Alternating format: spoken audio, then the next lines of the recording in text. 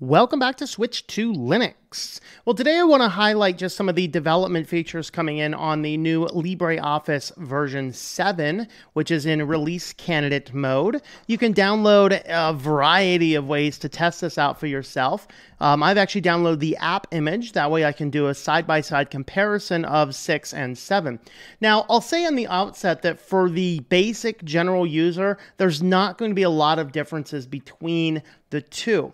So if you're not really going to be able to spot whether you're on six or seven. Now, the back end, there should be some things that work a little bit better, such as they are now saving docx files in the latest uh, 2019 docx docx format instead of the 2007 compatibility mode. And there's a few other little odds and ends. We're going to go ahead and have a look at the release notes and uh, where you can get this out to test it out for yourself. So definitely go ahead and test it out, particularly if you're like me and you use this all the time it'd be a great opportunity for you to go ahead and uh, test it out. Maybe even grab that app image and run it side by side with your other system. So we're actually over here on Endeavour OS running Budgie. Uh, this is just in my virtual box just so I can give things a test out. Now, what I wanted to do is I wanted to have somebody send me some files with some more advanced things, and uh, Pizza Loving Nerd sent me a document, but I really found out that there's not a lot different between six and seven. Uh, the only incompatibility issue I'm seeing is with word art. Uh, we'll go ahead and have a look at that document in, in each of those. And uh, so let's go ahead and first look at the release notes. So the release notes, basically, we have uh, basic changes. So they implemented padding numbers. So uh, basically adding more padding inside of some of the numbering systems. Again, a lot of these are, are either more advanced features. Most people aren't actually going to see a lot of these changes, but you can kind of flip uh, flip through here. Fix mail merge pro- progress, um, improve rotating text handlers, and improving semi-transparent text. So semi-transparent text. This is actually something that I have looked for in the past, which was not there particularly when I'm putting inside columns inside of books that I'm formatting in LibreOffice. Semi-transparent text could help with a few of those issues, although usually I just do those types of images on GIMP and then import them into the document later, which actually tends to work a little bit better from formatting perspective anyway. Uh, bookmarks can now be displayed in line, so you can kind of see uh, where bookmarks are, and there's some language fixes to various autocorrects. So if you're part of some of these other languages, we have Czech, German, Icelandic, uh, Slavic, Slovene. Uh, or is it Slovene? My apologies. Can't remember. Uh, don't don't know how to pronounce that. I should say. Uh, Russia, Ukrainian. There's a few changes in there. So just a few few fixes to your more international uh, repairs on um, uh, spell checkers and things like that. Here's some new accessibility features. Experimental features have been added to make documents more accessible. An accessibility check tool to review common accessibility problems, such as support for PDF UA specifications in the PDF export box and more. They have blog posts on all these items. You can find these release notes and flip through them. So new spreadsheet functions in Calc where uh, we have random and random between. Um, I guess I've never tried using random numbers on Calc before. Maybe it didn't exist. Maybe it's just improved.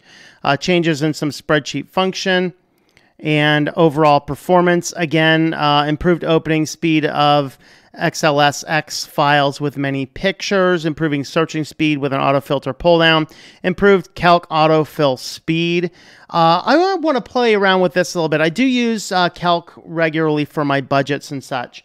And so that's actually an area that I would really like to look into that, uh, see how it works. There's a few little issues that I've uh, that I've generally had, like it doesn't save my uh, my self formatting and things on my document, and I don't know why. So I want to look into that. Maybe the new version will fix some of those items there. A few other items. Here's uh, impress and uh, impress and draw. Uh, subscripts now return to the default of 8%. So uh, they're kind of basically fixing how the superscripts and subscripts are working. That's actually good, honestly. Uh, speeding up some basic things. There's some base stuff, some math stuff. And then inside of the core, we have uh, more previous images from galleries. I did look around at some of the newer templates and things uh, that will, uh, there's a, a, little bit more adjustments, a little bit more options in there as well. So, like I said, for the most part, you're not going to see a whole ton of difference probably just more performance differences you'll notice, but as far as functions, features, design style, not a whole lot different. I'm going to pull them up side by side so you guys can have a look what they look like. The big one though is looking at some of the formatting changes as far as your ODF goes to uh, up to 1.3 up 1.3 extended, so newer versions of open document specifications, those are new rather than going back to older ones. You can actually go back to the previous versions if you need those previous versions as well. Uh, again, improvements for the docx folder, uh, file filter. So instead of saving 2007 compatibility mode, it actually goes to the latest version of docx.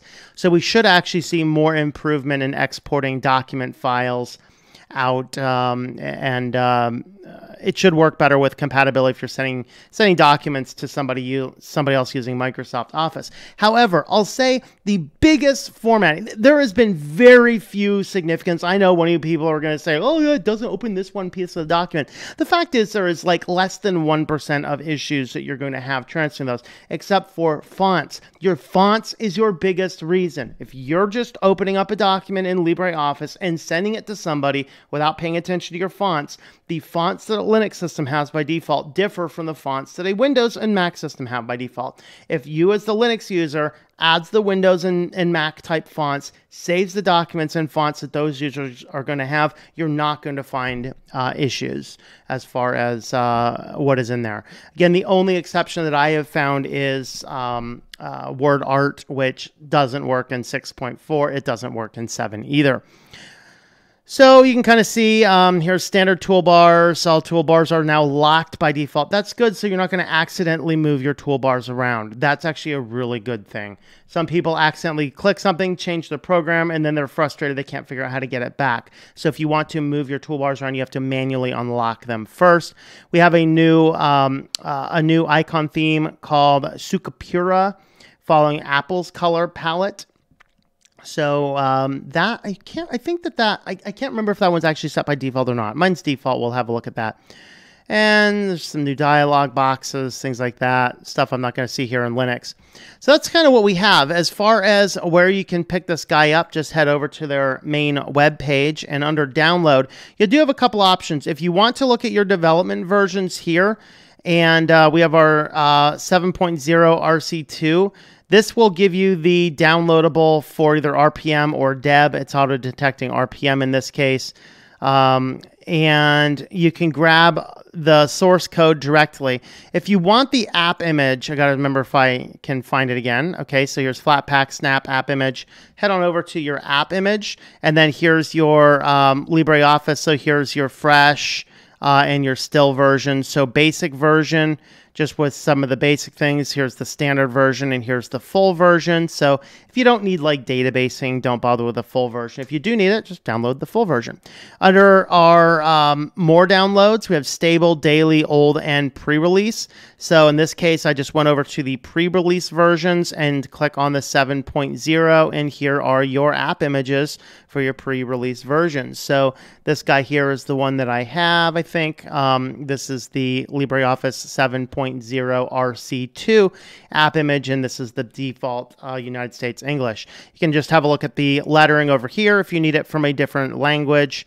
Um, you can download it. So this one's the Great Britain English. Um, so you can just download the one that you want. So this is the one that we have.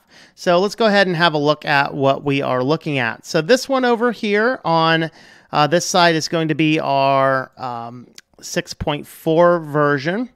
And I actually have in my files, it's still in my downloads folder over here.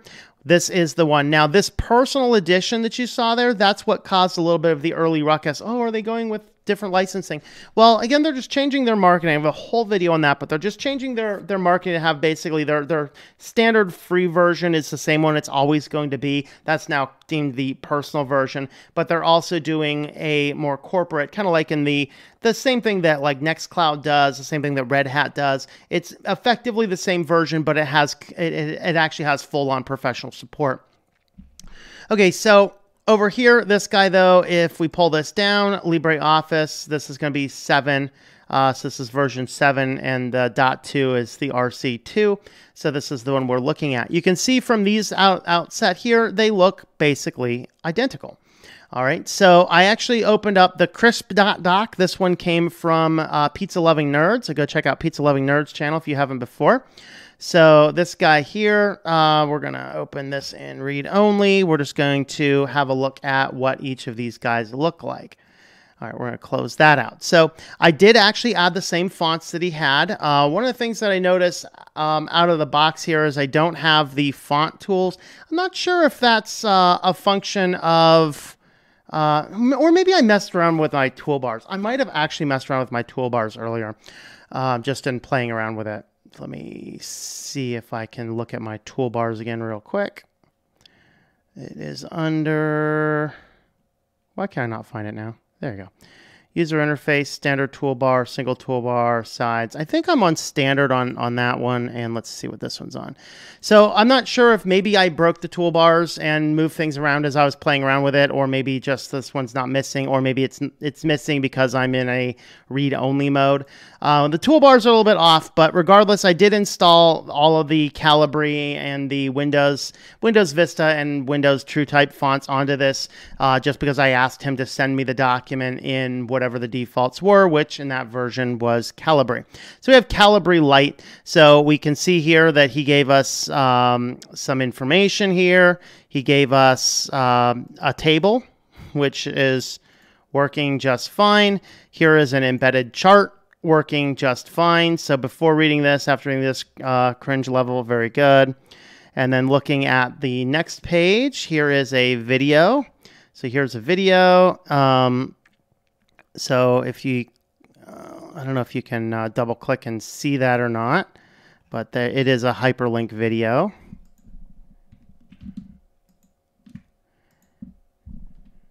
Oop, there you go. Got it to play. All right, so that went uh, went over there. And again, shift control does the same on both documents. Looks effectively the same. Here's adding some ASCII art. And you can see the word art is the one area that got messed up. So that word art is, is where it was messed up. All right, so you can kind of see here that uh, everything looks good, uh, other than the word art, art over uh, over masking that. Let's go into our files, and if I go under my documents, I believe I had him send me a PDF of what it's supposed to look like. So you can see it's not different except for the word art. So again, word art's the only place it's messed up. Not a lot of differences from this perspective on uh, on the um, uh, six versus the seven. So that's why I say from the user's perspective, we're actually not seeing a lot different. All right, so here you can kind of see where we're not in read-only mode. Now we actually have uh, the toolbars there. So that's what it was. It's the fact it was in read-only mode, so it didn't give me a lot of the extra toolbars. So uh, there is what we can kind of see. There is not a lot different. Uh, we do have uh, we do have all of our. Here's our calc. Let's load up one of each of these guys. You can see everything looks uh, looks good. Even in the app image here, all of our theming is completely flawless. You wouldn't even know this, but one of them is an app image, and that's why I prefer app images over snaps or flat packs or anything else uh, app images are the best. Uh, let's have a look at that theming system. I think we got to go under options and I got to remember exactly where our theming is at. Okay, so it's under our view. So our default loaded is the automatic elementary. And uh, this one down here, Sukapura, is the new one. So let's hit apply on that. So you can kind of see what that new theming looks like there as far as that is concerned. So it actually does look very crisp, very clean. I like it. I might actually go to that. That's a really good theming set. Uh, let's see if it's actually in this one since this is running Arch. Let's see if it's actually in Arch too. I don't know if it will be. So it's not. So you can see that this really nice, cool one's not an Arch. Let's see if there's anything else so this one's not too bad. That one's horrendous. That one's uh, much more skeuomorphic. I think that's our, our uh, kind of our default. This one's not too far off from it. Breeze and back to our default. So that new color palette is very nice. You will have to turn it on. It's not set, at least on the RC2 as default, but it is a very nice icon theme there as well. So there is your LibreOffice 7 uh, RC2. And uh, it does look very good. It's very promising. And uh, I might actually download the app image there and play around with it on my writing computer and see uh, see how well it works. Uh, I might even try and format a book over there with it. We'll see how that works. And overall, though, it looks like a very nice, very impressive system. So can't wait for this to come out. And uh, you can definitely go on over there, grab the app image, or if you want to install it system wide, you can grab a deb RPM they do have a snap. They do have an app image for uh, the RC as well, I believe. Uh, so you can go ahead and play around with that. So there is our very brief look at the new upcoming LibreOffice 7 RC2. Go ahead and have a look at that and uh, thank the Document Foundation for such an excellent job. Thank you for watching this video from Switched to Linux. This channel would not be possible without the backing of the program supporters scrolling on the screen now you can be a supporter at Patreon at patreon.com slash T-O-M-M or at thinklifemedia.com. I also want to thank the open source community who creates such excellent software that makes producing this show possible. Please remember to support your software communities. Thank you, and I hope that you enjoy switching to Linux.